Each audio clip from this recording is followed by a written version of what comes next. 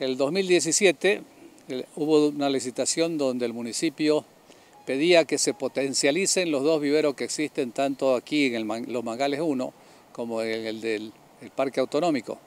Es así que dos empresas se ocuparon esa potencialización de los viveros para el sostenimiento y creación de la arborización en los 15 distritos municipales.